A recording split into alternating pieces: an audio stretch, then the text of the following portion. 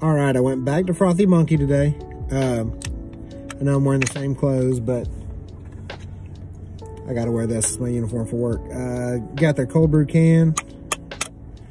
Didn't want to open, so I had to use a, get a little help.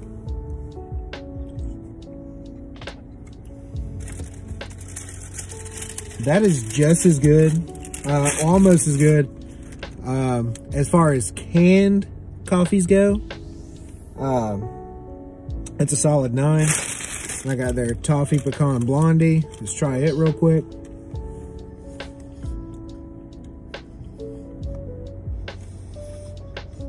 Oh yeah, that is so good. That's like, that's a 10 out of 10 right there.